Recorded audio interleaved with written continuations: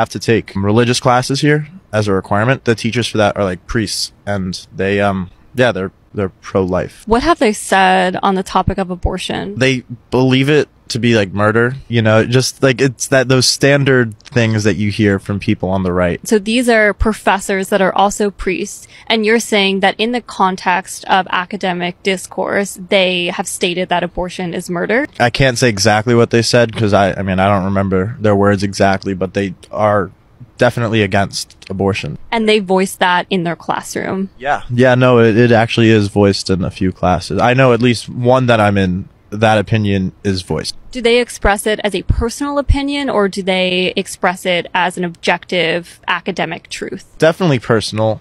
I mean, at the very least, because that's, you know, the day to day. Like, if you were to go up to a priest here and ask them about that, they would definitely be pro life.